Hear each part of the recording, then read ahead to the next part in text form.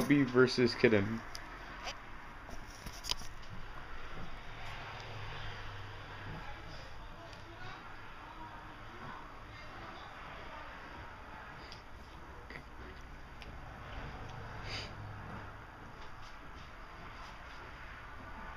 Uh, the white puppy is about six months old, and the cat's about two to three months old. So.